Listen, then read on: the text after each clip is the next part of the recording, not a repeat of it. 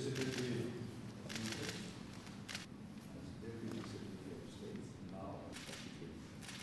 have had a long discussion.